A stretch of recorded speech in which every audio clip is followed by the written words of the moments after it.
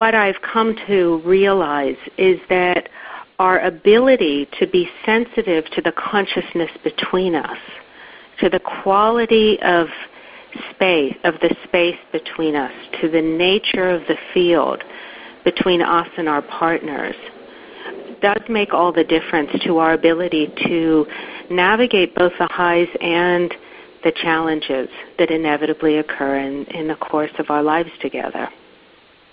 If we think about it, consciousness is really it's an environment, it's a field. And all living things grow in an environment. And if you think very simply about plants, you think about their the soil that they're rooted in. If it's nutrient rich soil, you, the plants are going to be strong and the harvest is going to be full.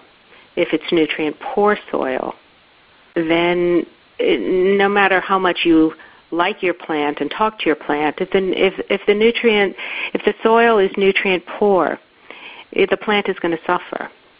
And similarly, if the weather is too stormy, too hot, not enough rain, your your your living your living organism is going to suffer. And similarly, um, in relationship, if the consciousness is not nutrient rich, if it's not filled with the qualities that we need for our growth, the relationship and the individuals will suffer.